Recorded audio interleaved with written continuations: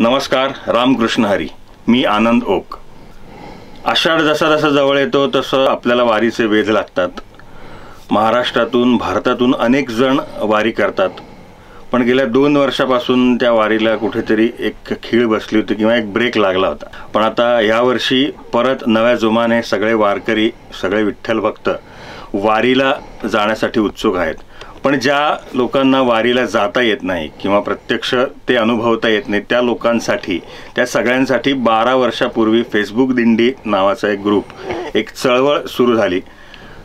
काही मित्रमंडळींनी मिळून ज्या लोकांना वारी बघता येत नाही त्यांना सोशल मीडियाच्या माध्यमातून वारीचं प्रत्येक पालखीचं दर्शन घडवण्याची जबाबदारी ही त्यांनी घेतली आणि ते गेल्या समर्थपणे बारा वर्षापासून ही जबाबदारी पार पाडत तर मागच्या काही वर्षापासून एक नवीन प्रत्येक वर्षी काहीतरी कॉज घेऊन काहीतरी ध्येय घेऊन काहीतरी थीम घेऊन पूर्ण वारीचं ते सगळं आयोजन करत असतात. तो उपक्रम राबवत असतात.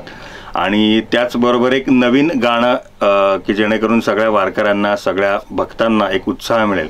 असं एक वा दरवर्षी एक गाणं नवीन आम्ही करत असतो. तर यावर्षीचं गाणं करण्याची संधी मला मिळाली आणि त्या अनुषंगाने ब- क्षितिज पटवर्धन आमच्याशी जोडला गेला.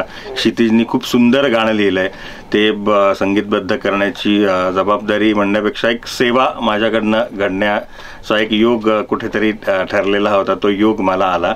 आणि अवधूत गांधींनी फारच अप्रतिम ते गायलं आहे गाणं. फेसबुक दिंडीच्या याच्यात सांगायचं म्हणजे देवबाभळीच्या आमच्या लाईव्ह मुलाखतीच्या वेळेस या फेसबुक दिंडीशी माझा संपर्क आला आणि तेव्हापासून एक आमचं वेगळंच रिलेशनशिप एक बॉन्डिंग डेव्हलप झालं आहे त्यामुळे दरवर्षी आम्ही काही ना काहीतरी वेगळं करत असतो.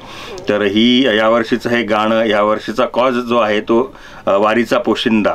असं आहे. तर वारी म्हणजे शेतकरी बांधव बऱ्यापैकी त्याच्यामध्ये असतात. तर त्यांच्यासाठी काहीतरी एक समाजोपयोगी काहीतरी कार्य करता यावं काहीतरी उपक्रम करता यावा. ह्या अनुषंगाने यावर्षीचा तो उपक्रम आहे.